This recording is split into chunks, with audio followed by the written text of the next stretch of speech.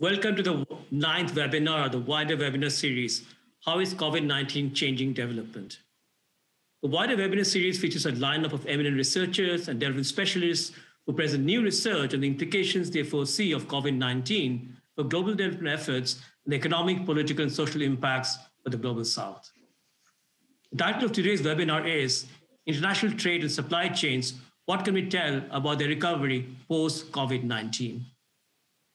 The growth of international trade and expansion of global value chains over the last 30 years has been quite remarkable, and the effects on development is very clear to see. Incomes have risen, productivity has gone up, and poverty has fallen. The fragmentation of production and knowledge transfer inherent in global value chains are in no small part responsible for these advances. At this moment, however, there is reason to worry that this trade led path to development is under threat.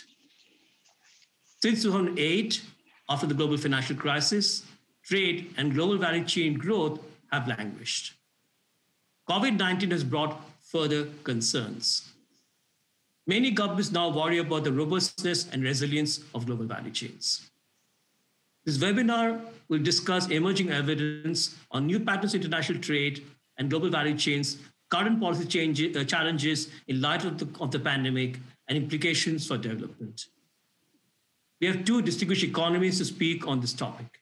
Firstly, we have Daria Taglioni, who's research manager, Trade International Integration, Development Research Group at the World Bank, where she's held various positions and roles, including Team Task Lead for the World Development Report 2020, Principal Economist in the International Finance Corporation, and the World Bank's Global Lead on Global Value Chains. Daria will be drawing from the World Development Report 2020 in her presentation. We also have a discussant, Professor Selim Raihan. Selim Raihan is professor at the Department of Economics, University of Dhaka, Bangladesh, and the executive director of the South Asia Network on Economic Modeling, SANEM in short. He's an honorary senior research fellow at the University of Manchester. Selim is one of South Asia's leading trade economists, and we'll be speaking about, in particular, the implications of the pandemic on trade and value chains with a focus on South Asia. Now, a few logistical issues. First, you must type in your questions using the Q&A feature that you see on your screen. I will read out the questions on your behalf. Second, the webinar will be recorded and shared later on our YouTube channel afterwards. I would like to invite Daria to speak for around 20, 20 minutes. Daria, over to you. Thank you. Thank you, Kunal. Um, and thanks for inviting me, uh, hopefully next time in Helsinki. So, um, as Kunal said, I will be um, drawing from uh, the report on the, the World Development Report on global value chains.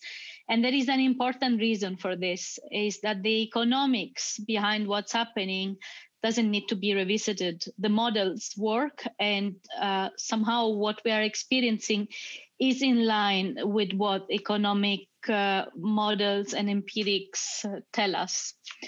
And so I want to, to start with the world we have left. And it is a world where uh, trade and global value chains blossomed within a relatively liberal environment for trade and investment. And firms and countries were able to specialize to make contributions in narrow slices of the chain. So, in the far, first part of my presentation, and I will go over how this world worked. And then I will show the world we are in today. So, we have we come from uh, a long period of sustained international integration. And so, if we take global value chains uh, trade as a share of global trade, it has grown consistently since the early 70s, going from 37% in 1970 to 52% uh, at the 10 years ago, at the height of uh, just before the global uh, crisis, and then has been retrenching um, since then. And probably, as Kunal said, uh, with COVID 19, we will see a, a further uh, drop over this. Um, but one important point is before coming to, to what this world looked like is to give some uh, sense of who's in it and um, and what we are talking about. And so the first point to remember is that there are no insiders and outsiders to global value chains. It's really a sweeping global phenomenon where all countries participate, but each in different ways. It's a bit like the Anna Karenina uh, book, right? And so we have some countries that are participating mainly by exporting commodities to the rest of the world. Then there are other countries uh, that are participating by predominantly being in limited manufacturing there are countries that from initial this breaking into initial uh, labor intensive manufacturing have uh, grown and specialized in advanced manufacturing and services. And finally there are countries that specialize in innovative activities. And when we talk about global value chains it's a fa- it's a phenomenon that affects uh, trade uh, foreign direct investment firms ownership uh, uh, innovation intellectual property but one easy way to try to measure it is to look at those cases, those actors where there is a trade in parts and components happening. And so uh, there can be cases where there is this forward participation, where so the commodity producers they do participate with their exports in the production of others. There are other countries in the middle that import these uh, commodities to export um, to other countries that then transform further. So it's this import to export. And then there are countries that are at the end of the chain and that they participate with backward participation, for instance, mainly in the assembly uh, function by importing all inputs. And all, and, and all countries uh, can grow uh, irrelevant of which uh, position they occupy in, in this uh, uh, in this uh, scheme. Um, the other question that I wanted to clarify up front is what we are talking about. Often people say, what, why, why is this global value chain different from trade? Okay, we understand it's import and exports, but what is, is there something really special about it? And in the WDR, we discussed uh, with, in the WDR team, we thought a lot about this. And we really think that the two distinguishing features are that we have this hyper scale, hyper specialization, the specialization in very narrow um, activities and then on the other, which to me is even more important, is the firm to firm relationships that are one not one off relationships like when you go to the market with an, between anonymous actors, but are actually repeated interactions over time and are through marriages, through partnerships. And these have been in both cases phenomenon phenomenal engines of growth because they allowed um, an unprecedented uh, transfer of know-how technology thanks to these long-term um, partnerships. And the hyper specialization has allowed to participate to partake in the global economy before learning to do very complex activities and actually uh, learning by doing and so we then have the drivers that are the traditional drivers of um, of uh, trade, geography, endowments, market size institutions. And we have outcomes in terms of it produces growth and jobs, it leads to poverty reduction, but there are also some implications uh, that make the world less equal uh, and, and, and there are some strains on the environment but policies can uh, can um, maximize uh, the ability to to leverage growth uh, from global value chains and mitigate the costs. And so, uh, the main message I, I, want to leave you today is that uh, global value chains have boosted incomes and created better jobs and reduced poverty across the board. Uh, but as I said, they had this mixed impact on the environment and inequality and that even after the COVID 19 crisis or during the COVID 19 economic crisis, they can support development, but there are, uh, but policy has to play its role. And in particular, developing countries need to keep reforming themselves, and industrialized countries need to pursue open and predictable policies. But right now, in many respects, the opposite is happening. So, the why uh, global value chains trigger growth? Well we we see that firms that both import and export which is our proxy for global value chain participation are more productive than one way traders on, or non traders and we tried this with aggregate uh, data with uh, disaggregated data and on countries at all levels of development. And here you can see that these bars are the premium on productivity of firms that both export and import the green bars, that export only the blue bars, and that import only the purple bar over firms that neither import nor export. And so you can see that consistently the firms that export and import are the most productive in Ethiopia, in Vietnam, and across the board in developing countries, and actually also in developed countries. So I want to now leave you to one question, uh, which uh, we will uh, immediately then uh, look at uh, what's the situation. And the question, it's up here. When do countries see their income grow the most? When they are commodity driven, when they break into manufacturing for the first time, or when they specialize in advanced services and manufacturing?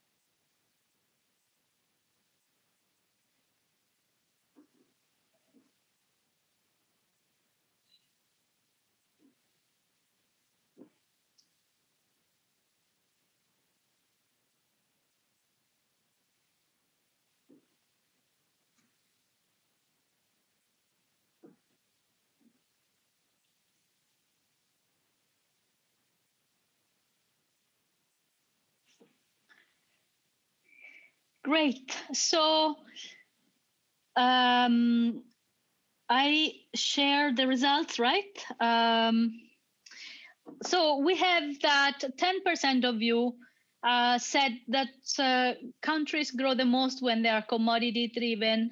29% uh, they said that it is when they break into manufacturing and 61% when they specialize in advanced countries uh, in advanced services and manufacturing. Um, i will show you now that in fact the answer is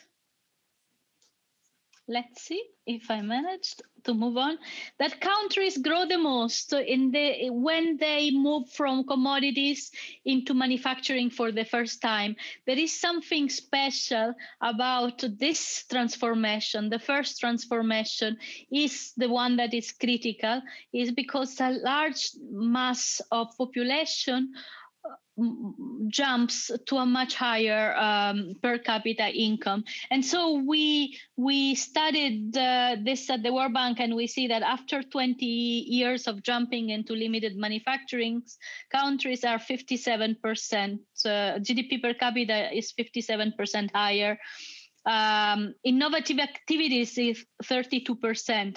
Of course, in levels, when countries are innovative activity, the level of income is much higher, but the qualitative jump is higher when the countries break into uh, simple manufacturing.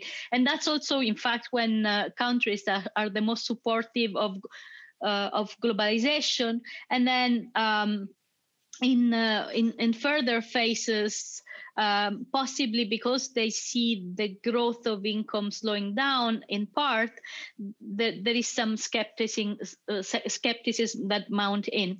So, um, so here's the thing. Uh, it's an interesting story with um, with the. Um, with what happens. So basically, countries' incomes become higher, and uh, countries start to import and export. And what happens is that they actually become more capital intensive. So the units of uh, labor per unit of production go down because there is much more technology involved in what countries produce when they get into global value chains.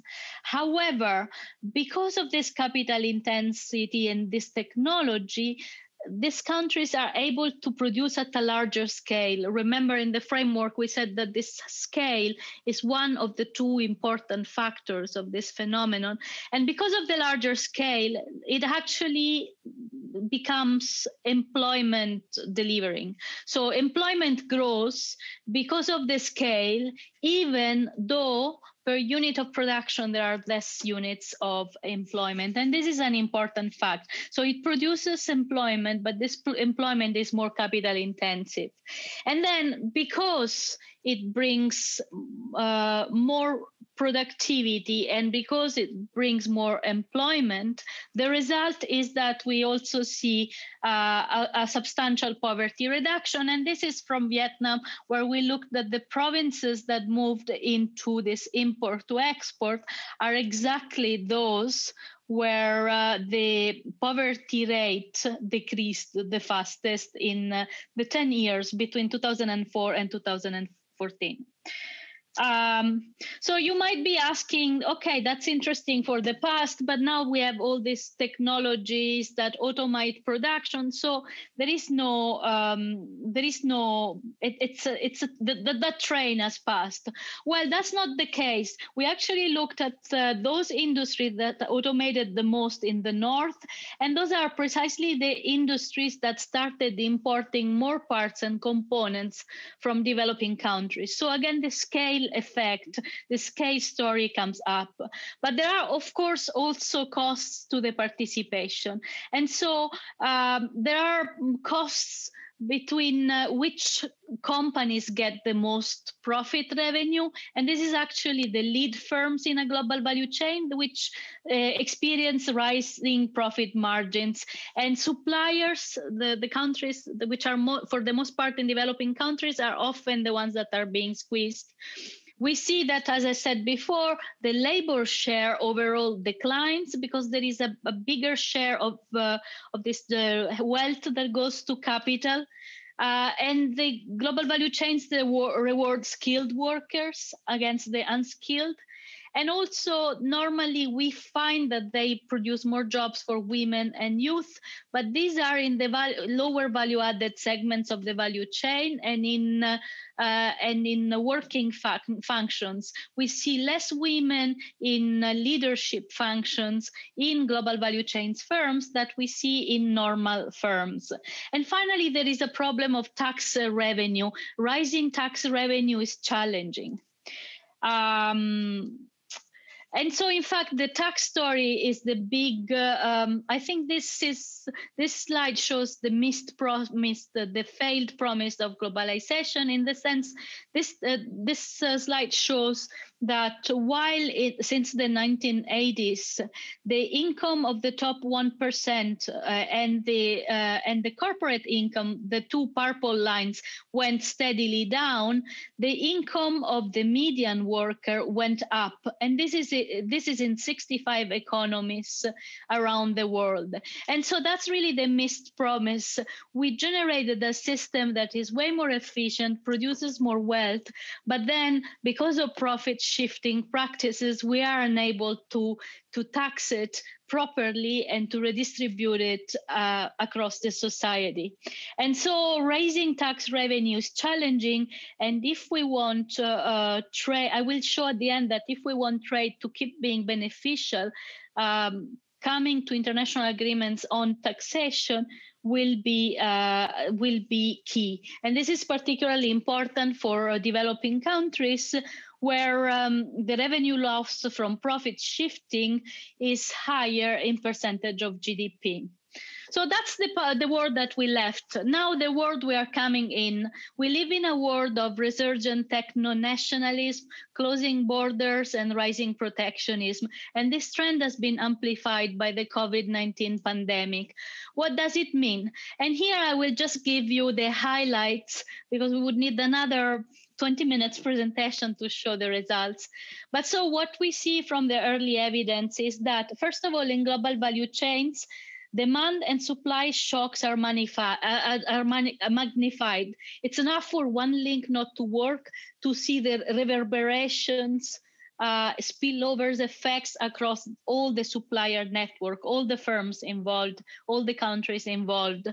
But both the contraction and the negative shock is magnified and also the rebound the growth is magnified for the very same reason. There are the, both the negative and the positive shocks are magnified in in uh, in this uh, world the direct suppliers and the direct buyers are actually those that are most hardly hit.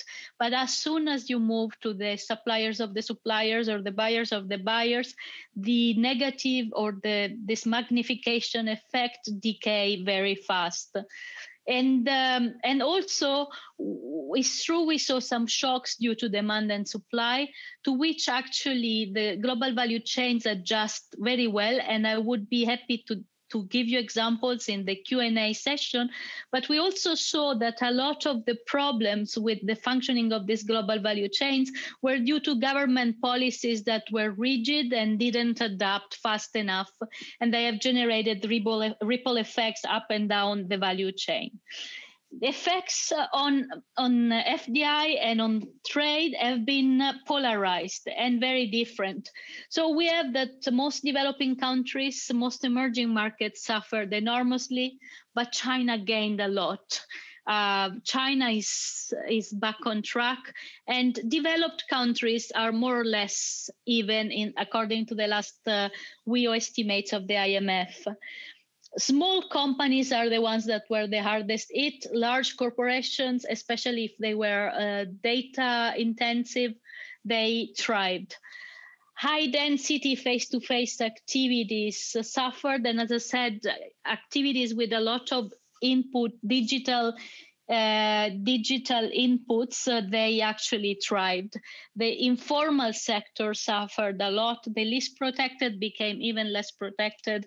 The unskilled suffered. The young suffered more than the old women suffered more than the old. And so, in a way, we can say that the poor became poorer with COVID and the rich became richer. And this is really what we need to address. Uh, but we have something at the World Bank, some colleagues did some, uh, carry out some firm surveys on large world corporations. And there is one interesting result. While most firms expected, expected some profit loss, the majority of the firms have chosen to maintain their business strategies intact in with respect to input sourcing, diversification of product sites, and offshoring, because they say for them this global structure brings resilience through diversification, and that's exactly what the World Development Report was also uh, saying. So we have, uh, however, uh, with COVID, we are more aware of the dependencies and vulnerabilities in GVCs which have been laid bare, and therefore it creates a new urgency in the search for answers to three sets of questions. One is about uh, where are bottlenecks? So what happens when firms and countries are suddenly cut off from some crucial input? What are these key dimensions of vulnerability? What are the bottlenecks? Another set of questions are whether firms unrelated to global value chains are more adversely impacted by COVID or not and whether governments should help only domestic firms through the crisis or, or firms that actually help uh, the domestic economy, even if they are from another country. And finally, the third question is whether there is an alternative path to sustain poverty reduction than international integration. And this is the next polling question for you is there a, a, an alternative path to sustain poverty uh, reduction other than international trade? Yes, no, or not sure?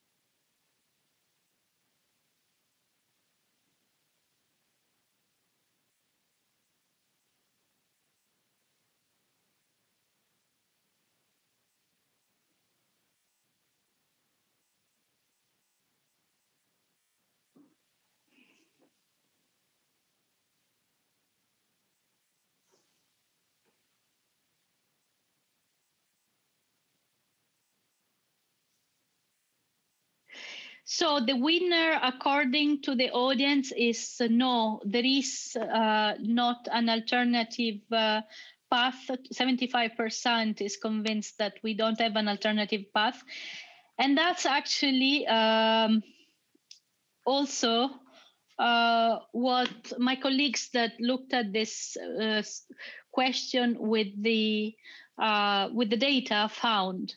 So you have basically two engines of sustained poverty reduction. You have to have a large middle class at home, or if you don't have a large and growing and thriving middle class at home, you need to have the international economy, the global demand to to make up for that. And so we find that all the countries uh, that are uh, above the uh, above the median, they might have the possibility with their domestic middle class to eventually consider doing away with trade. But actually, this is not the case for countries that are below the median. Uh, and and uh, and international trade is needed. And so to conclude, we need to deepen trade, inter- traditional trade cooperation, and there are many areas we need to reduce. Still, there are many areas and many parts of the world where we can do a lot to reduce tariff and non-tariff barriers.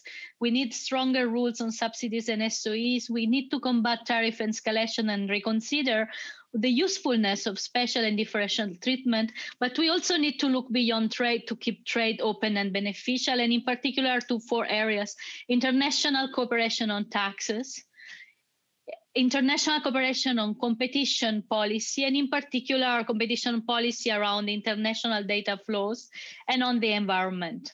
Thank you very much. Uh, thank you, Daria. The, your presentation is very interesting, especially as you said, the implication of the pandemic for the world economy is could be quite significant, and especially on the trade-led path for economic development, which has been, as you mentioned, very important for poverty reduction. We'll come back to the, in the Q&A on to this uh, question that you raised. Let's move on to the, to the discussant, Professor Selim Raihan. Over to you. Uh, thank you, Professor Sen. I must thank UNU-WIDER for inviting me to this very important event. And uh, Daria made a very, very comprehensive presentation. So in my short intervention, I will focus on COVID-19 and international trade in South Asia and some of the very emerging issues and uh, the important issues to consider. So we all know that the COVID-19 has large distressing effects on international trade in South Asian countries. So I am going to present to you some recent data, especially if we look at the exports. Exports saw a large dip in uh, most of the South Asian countries. And I'm here, I'm presenting to you uh, data for the recent data for four South Asian countries. If we look at Bangladesh, you can see that during March and August, export declined by around 30% uh, compared to uh, past year, the same period in the past year. Uh, in India, it has been around 23%. In Pakistan, it has been around 12%. In Sri Lanka, it has been around 26%. There are varying degrees, but actually, most of the South Asian countries, they are suffering quite a lot in terms of reduction in export. But we also need to keep in mind that when it comes to trade, it's not only the export, but import saw a large dip too. And when it comes to integrating with the global economy, uh, actually, if we don't take the mercantilist approach, imports are extremely important because of the industrial development of the South Asian countries. Many of these South Asian countries that rely quite a lot on import of raw materials and capital machineries.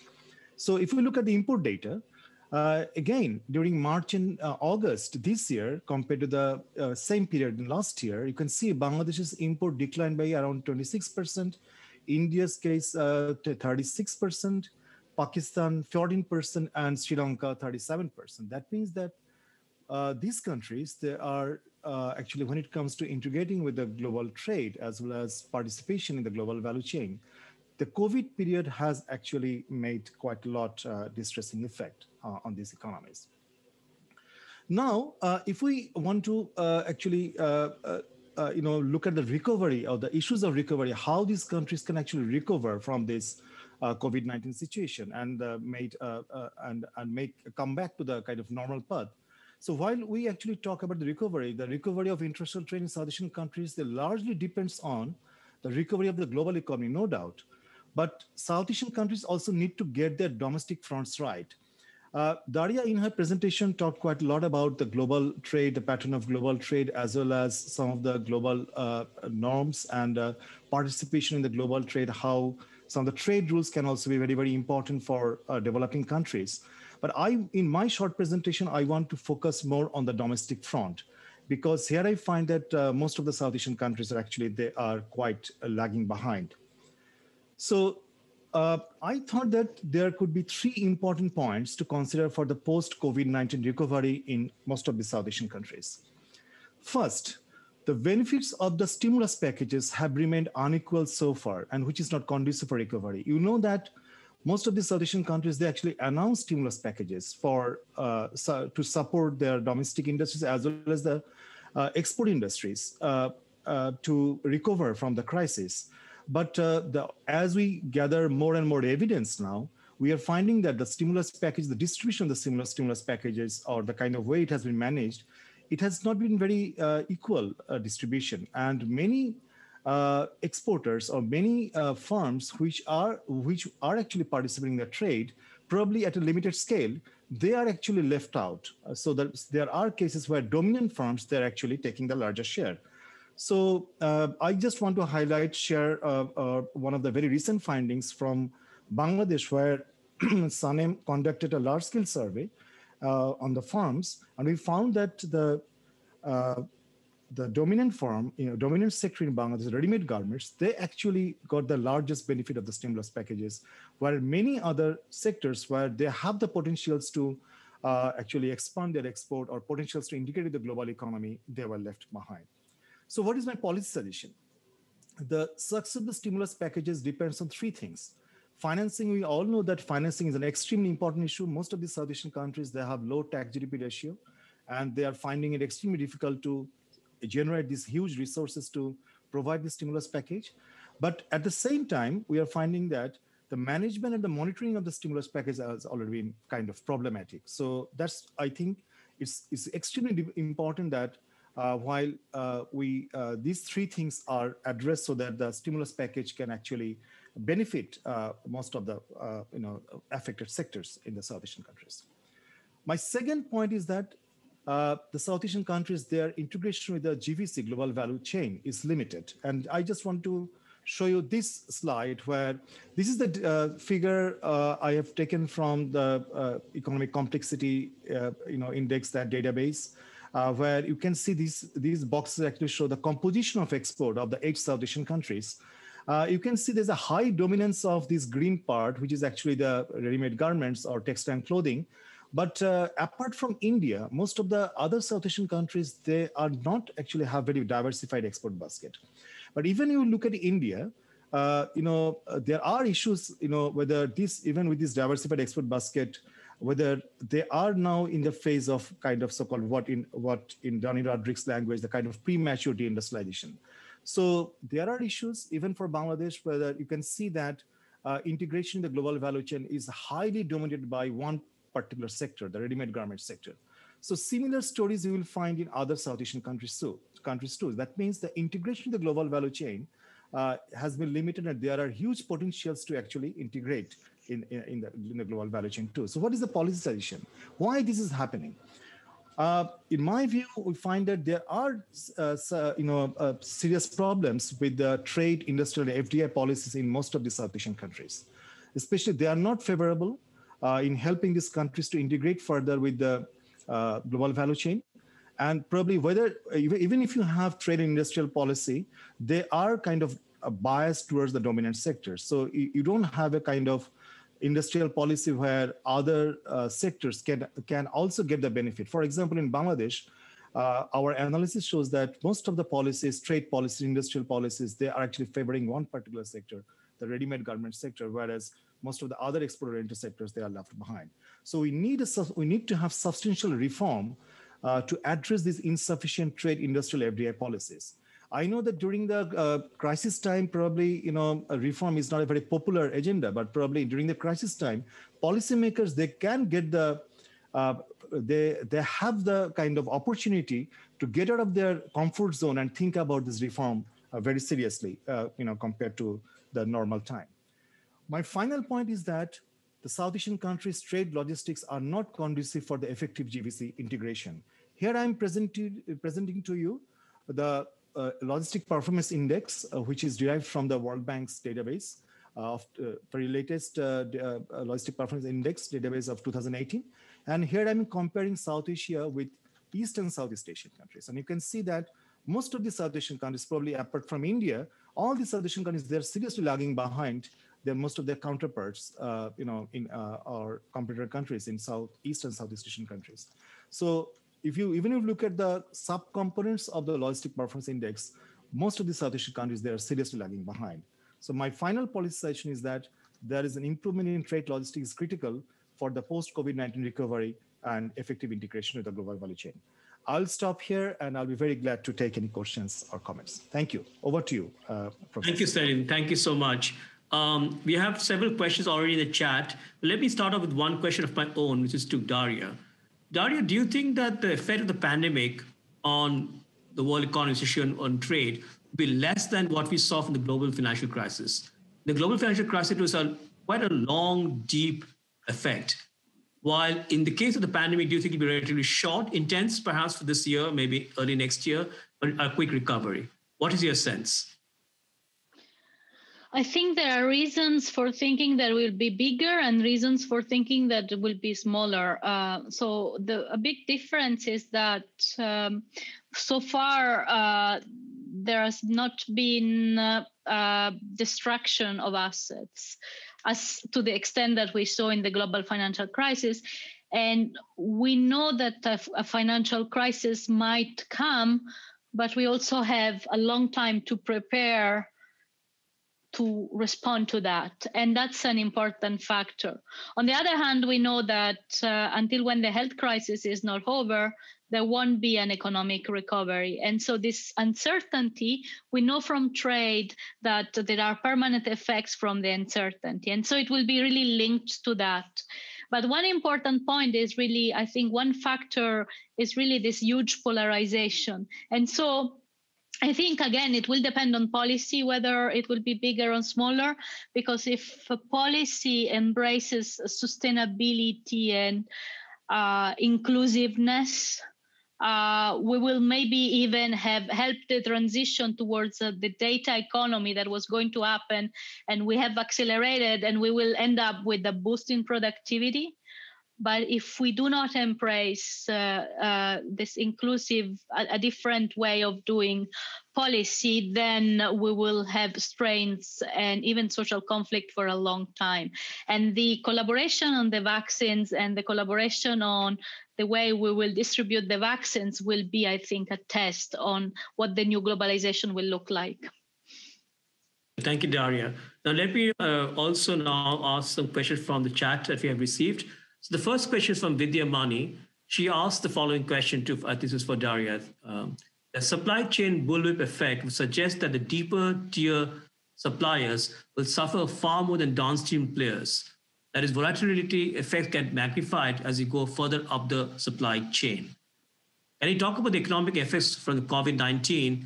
Would it exacerbate this particular effect, having a stronger effect on deeper tier suppliers rather than downstream players? What would be your answer to this question? So this is something that people are still looking at. Uh, there are um, theoretically can be can go both ways and depends on how specialized these suppliers are. Uh, from past shocks like the tsunami in uh, in in Japan, the triple shock of tsunami, earthquake, and nuclear meltdown in Japan, we know that as soon as you move out of the immediate suppliers and buyers, actually it's true there might be more volatility but these firms are not totally dependent on on on the firm that was affected by the shock. And so diversification helps. So it's an empirical matter ultimately but I have reasons to believe that diversification helps.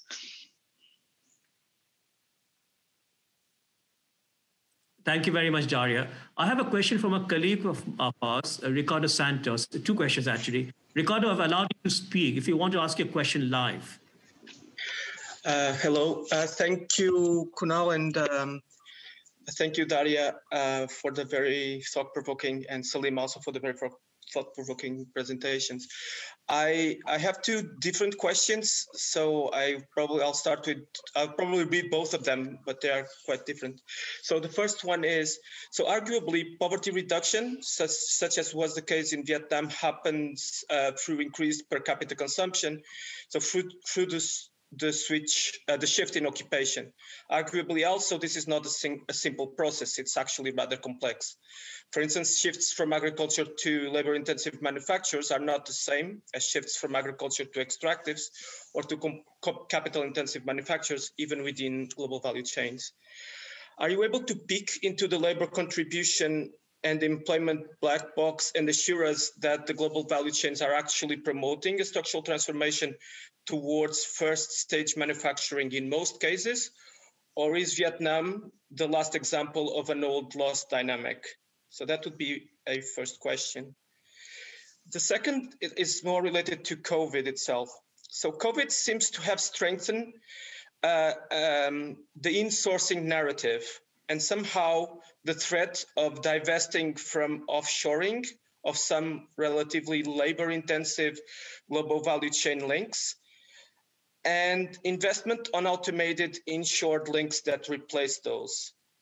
Is this a credible threat, a visible trend? And if so, what challenges does this bring to poverty and inequality reduction?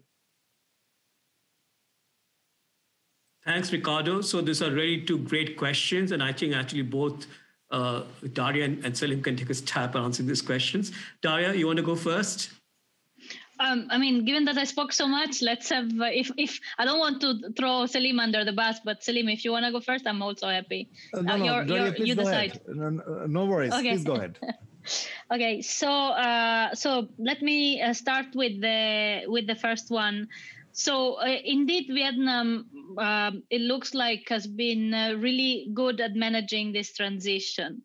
Um, so what we looked is that actually Ethiopia is following a similar path. Uh, I mean, when we looked at, we, we, we picked the countries at different levels of transition, and we saw that actually the, the there is uh, other countries that are following the same path. And uh, I do really think that the reason is uh, both this ability to build scale and this firm to firm relationship. It's true that it's more complex activities, but you are not doing them alone. You are actually embedded into uh, in, and, and you benefit of uh, of the know-how and the knowledge of firms that are uh, that are used to this uh, handling of complex uh, complex activities. So in a way, it's like if uh, this firm-to-firm relationships allow to import institutions and and to allow the domestic producers to leverage on these foreign institutions uh, to learn about these transitions. So we we we see that uh, in motion um, in the countries in Africa as well. Manufacturing, uh, it's Ethiopia, but we have, uh, I don't know, other cases, uh, Kenya more on the services sector. Um, and both for regional value chains, for instance, South Africa, than with global value chains. Uh, on the COVID, the narrative of of uh, doing away with offshoring and uh, and um, and uh, technology. I think these are two things that are happening. So i think the smaller firms the firms that have uh, their demand more localized domestically or within the macro region we see that they are either range shoring or near shoring um, but the purely global companies as i said the survey from my colleagues seems to say that they have no intention to change their uh, global diversification strategies. Automation is a different story. It's true that this crisis is automating um, production everywhere. Uh, but what we saw when we looked at that uh, in the WDR is that actually automation of production, because it delivers this scale economies, is also generating income and demand effects. And so there is uh, less demand for that particular item that is maybe automated, but there is much more demanded for a wider variety of parts and components. Or, for instance, we've showed the case of uh, uh, hearing aids that became completely 3D printed. Well, they are they are 3D printed, but they're not 3D printed at home or in the small shop. Uh, uh, I don't know, in the rich country, they are still 3D printed in massive um, factories in developing countries and then um, exported, traded. So there are more jobs and more trade, but uh, indeed uh, for the skilled workers and, and, and for the machines together. And the more complex economy that it generates generates more jobs, but in more varied sectors. So at the extensive margin, if you look at the intensive margin, you will only see the negative effects. Thanks, Daria. So, Selim, I want to ask this question in particular in relation to Bangladesh because Bangladesh, more than any other country in South Asia, has really uh, taken advantage of labor-intensive GVCs, particularly through apparel. So first of all, first question is that do you think that has led to significant poverty reduction? So is there a kind of close, close issue we see with labor-intensive GVCs in apparel and poverty reduction? And secondly, what is the threat of outsourcing for Bangladeshis, particularly on the apparel sector that we see now for post-COVID? Uh, uh, definitely, the ready-made garment sector in Bangladesh, you are very much right that actually it has, it has contributed to a reduction in poverty uh, over the past few decades, and that has been kind of uh, in through different empirical studies, it has been shown uh, quite. Uh, it has been quite straightforward. Especially, it has also contributed to women empowerment. But I also agree with Daria in her presentation. She made that probably we are at a, we are at a very lower end of the value chain, uh, global value chain, where you have little bargaining power so that uh, even if you have uh, employment generation, reduction in poverty, but we have seen in decades over decades, the wage in the ready-made garment sector did not improve much, and also the working condition, there are serious issues. Uh, but your point, uh, the second point is that whether the COVID-19 situation, what we are observing. I wanted to highlight one particular point is that you remember that uh, infamous Rana Plaza event in 2013, where the big building collapsed, the factory collapsed. And after that, over the last uh, six, seven years, there has been a growing tendency of uh, automation in the ready-made garment sector, labor replacing uh, you know, technology. And uh, during this COVID, uh, the fear might be that you know uh, this, this, can also be sped up. You know this kind of automation, especially to minimize the human interaction, and also to gain the more productivity uh, or you know so probably that can also happen and in the recent time what we are observing there have been some cases uh, the ready-made garment sector uh, because of this covid situation cancellation of orders and uh, uh, reduced demand in the North American European uh, Union, especially these two major export destinations, this sector is actually under pressure. And uh, because of the second wave, which is now forthcoming and uh, which is also already there in many of these European countries, there is a fear that the sector will be actually in, will be in, under serious pressure. So all these things are actually in a very complex situation where the investors of the firms actually the, we have conducted a big survey through, through SANEM. They have found that they are actually not in a very much in a confident situation and what is going to happen in the next uh, three or four months in the ready-made garment sector to devise their strategy. Uh, so I think this will be very, very important in the coming days. Over to you, Professor Thanks, uh, thanks, Selim. Uh, I have now two questions from Professor Andy Sumner. Andy, i have given you permission to speak, so you've been unmuted. You want to ask your questions live to, to Daria and Selim? Yeah, sure. Okay. can you hear me okay? Yes, we can. Thanks. Yeah. Uh, there's, there's an amazing moment where people have, have given you the uh, the the unmute um, uh, on in this Zoom world we now live in. Um, so I, I have um, well, there's that, there's actually three questions, and I don't want to take too much time, so I'll run through them relatively quickly. In a way, they, they relate to thinking about um, issues about global production and global inequality. Uh, in fact, just as I've started speaking, someone started drilling the road outside. Um, so, if we think about global inequality as having two components the within country component and the between country component, clearly GVC's, uh, uh, the strength of GVC's potentially is around the reducing the uh, between country inequality, seen as what, what, you've said and what is well known. GVCs may well uh, uh, have a strong association with uh, rising within country inequality. So I think you know, the three questions I, I, had were really, I mean, first of all, I wondered what you made of the, the kind of mixed blessings thesis of Marcel Timmer uh, in the recent Journal of Development Studies paper that the productivity gains are clear enough, um, but the formal sector employment gains are much less clear when he looked at the data. And they also suggested a, a non-linear relationship, a non-linear relationship where the benefits are really at, when when countries join global value chains, and then these benefits diminish over time as countries head towards middle income productivity levels. Then the second question is really the, the, the, the very well known uh, Richard Baldwin thesis about COVID 19 and tradable services. Uh, do you think we're going to see this tradable services revolution, uh, telemigrating as he calls it, and how does that fit with GVCs? And then the final question is more philosophical.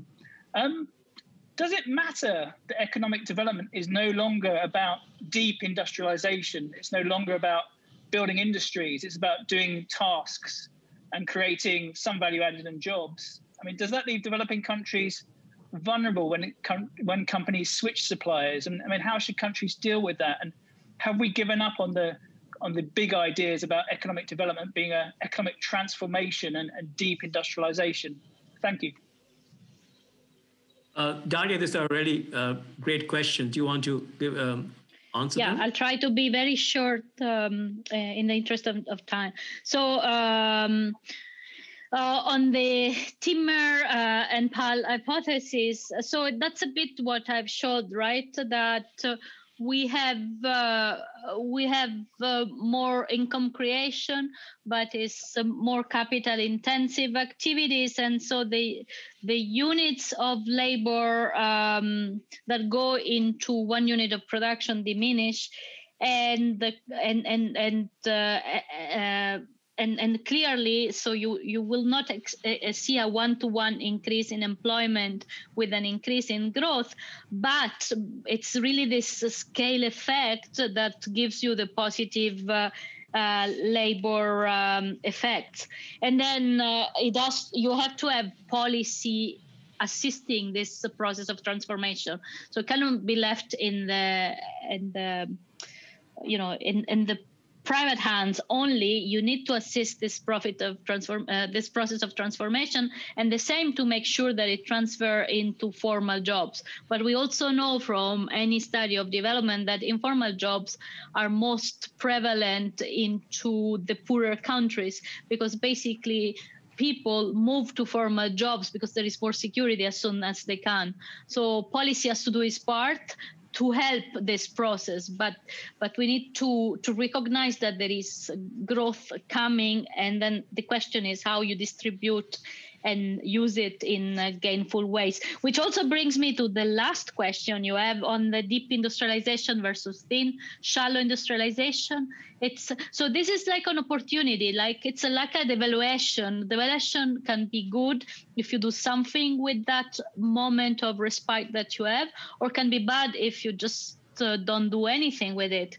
And so and you you you the idea is not that you just stay into this uh, specialized uh, activities and you do not achieve any more uh, deep industrialization. You still have to have uh, a program uh, which is actually what Vietnam is doing, anchored on, you know, empowering your human capital, building infrastructure, and making your economy more complex. And so that's an entry point. But then ultimately you need to achieve structural transformation the way frankly most of the asian uh, east asian countries did right so, and the third one on uh, Richard Baldwin, which is my PhD supervisor, by the way, story on telemigrants. I, I'm, I totally, actually, I helped him uh, correct the draft of that book. So, uh, you know, you open uh, an open door. Basically, I, I agree. Uh, I think we're experiencing a transformation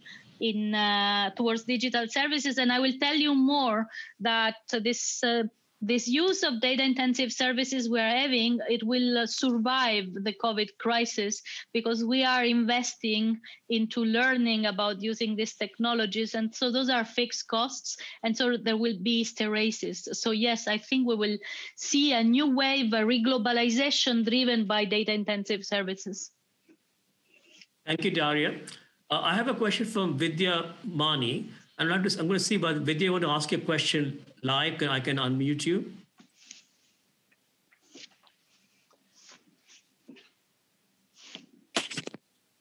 Go ahead. Thank you so much for giving me the opportunity to ask. And um, Daria and Selim, thank you for a wonderful presentation. Um, the question I had was in some of the policy announcements that you're seeing post COVID 19, there seems to be a lot more focus on policies that should encourage domestic production, domestic consumption, um, little pull away from the global value chains. It, I, I, I don't I don't see that possible, but there seems to be a focus on that. How well do you think are the countries placed with respect to their domestic or regional value chains as opposed to the global value chains? Or do you see that making any impact going forward?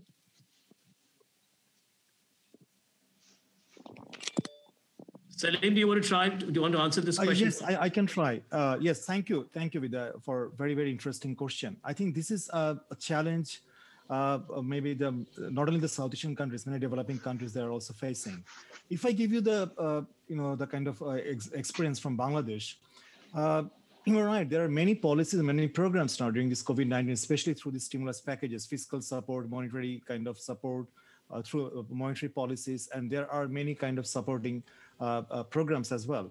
But they are though they are targeting both the export-oriented sectors as well as the domestic you know sectors uh, but we are seeing that very interestingly that the export-oriented sectors, especially those sectors which are very efficient in handling or having uh, many uh, kind of, uh, they, they have very strong lobbying power, they uh, are actually getting the most benefit, most of the benefit, or which have been announced so far, the policies.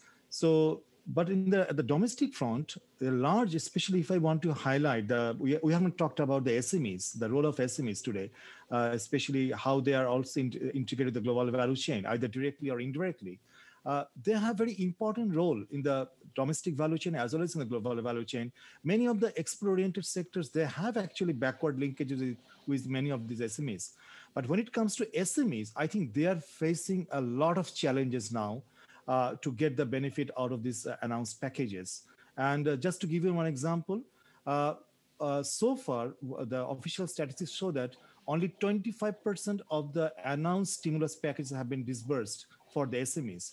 So uh, when it comes to that, that's why I'm saying that when it comes to announcement, probably there are kind of uh, announcement or uh, for supporting policies for uh, domestic oriented uh, domestic oriented sectors as well as the export sectors. But when it comes to getting the benefit out of it, I think the most more efficient firms who are actually capable of handling many of these things, uh, uh and there you can bring in all these political economy issues, institutional issues, they are actually getting the benefit out of it. So I can see that's why I tried to mention the point that the distribution of the stimulus packages or the benefit of the stimulus packages have been have remained unequal in most of these countries. Thanks, Selim. I also have a question from Sean Gray, and I'm going to also, Sean, I'm going to allow you to, I'm going to unmute you if you want to want to ask a question live. Go ahead. Um, yeah, thank you. Uh, thank you, Punada. Um, wonderful presentation, Daria. Um, I hope you can hear me. Yeah, very well. Thanks. Yes. So um, what I would uh, the you've pointed out that the pandemic has actually uh, been quite unequal in terms of the effect it has had on small versus large firms uh, and many other kind of inequalizing effects. So, what would be, in your opinion, the policies that countries can undertake to overcome some of these uh, challenges and integrate better into global value chains? Yeah thanks um, so i think that uh, we need to look at growth and sustainability and inclusiveness as part of the same framework. I think we are used in the past to think about growth, and then we say when we'll be rich, we'll worry about sustainability, inclusiveness. And I think we do not have time for that anymore because social tensions will kick in and simply growth will anyway be stifled. So we need to have the two together. And so I think we need, I mean, the big problem of this crisis is also, we haven't talked about at all, but there is a big elephant in the room. We are generating a lot of debt. Every country is getting hugely indebted. We need big policies with big multipliers, and those are digital and environment. And so uh, inclusiveness, so digital and environment have to be the areas where we invest uh, to make basically, um, you know, as a guiding principle for the policies that we are doing forward, we are, we are having going forward. Thanks, Daria. And just one last question I have is for Selim. Uh, Selim, what do you think with the RCEP, which was very recently signed? This very large trade agreement for GVC trade in Asia and particularly South Asia. Do you see a lot of possibilities here, particularly for Bangladesh or maybe other South Asian countries? Uh, you are very much right that RCEP probably this is one of the biggest events, you know, in, uh, in international trade in recent time, especially uh, uh after the deadlock in the WTO negotiation and uh, many of the, uh, you know, the trade wars we have witnessed in recent years. So I think definitely South Asian countries they have you know many things actually they need to consider it seriously about how they can actually integrate with the uh, when you talk about the larger in Asian integration, an RCEP can be a step towards that larger integration. Uh, we all know that China is the largest trading partner for most of the South Asian countries. And uh, though despite that, India and China, we have, uh, we, we have seen some tensions. I think it is kind of uh, agreed or kind of a general perception uh, among other South Asian countries that integration with China can really help, not only through trade, but also through FDI. So I think uh, I can see a very positive vibe, especially immediately after the RCEP was signed, there were programs organized by Ministry of Foreign Affairs in Bangladesh uh, where uh, to how we can Bangladesh can actually integrate with the RCEP. So I, I, I, can see that there is a there will be a growing demand for a larger integration uh, with, the, the, with this initiative from Bangladesh and from other South Asian countries as well. Thank you, Selim. We are out of time, and so I want to now end the webinar. I want to say that I'm somebody who always believed that globalization is very important. With all its problems, globalization has caused a lot of challenges for poverty reduction. We know that from the, the East Asian experience. And certainly, I, I, hope that the pandemic and what we've seen in the last few years, post uh, 2008, is a temporary aberration, and we can go back to what Daria called reglobalization, which would be very wonderful. Thank you so much, Daria and Selim, for your presentations and very, very thoughtful responses to the many questions we had today. Thank you, and thanks to everyone who participated, and thanks especially those who asked the questions today. Bye. Thank, Thank you. you. Bye. Bye-bye.